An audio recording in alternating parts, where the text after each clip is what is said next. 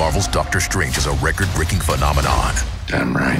And now it's the number one movie in the world. You have no idea what's about to happen. Doctor Strange, rated PG 13, in theaters now.